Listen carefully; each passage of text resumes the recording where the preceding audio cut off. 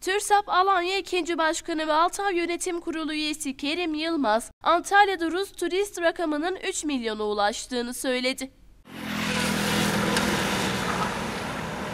2022 yılı turizm değerlendirmesi yaparak 2023 yılından beklentilerini aktaran Türkiye Seyahat Ajantaları Birliği Alanya Temsil Kurulu 2. Başkanı ve Alanya Turizm Tanıtma Vakfı Yönetim Kurulu üyesi Kerim Yılmaz, Hedef olarak koyduğumuz 5 milyon Rus turist rakamımız devam eden savaş ortamına rağmen 3 milyona ulaştı. Sırasıyla Rusya, Almanya, İngiltere, Polonya ve Hollanda ilk 5'te yer aldı. Diğer yıllara baktığımız zaman Almanya ve İngiltere'den en fazla turistin geldiği yıl 2022 oldu dedi.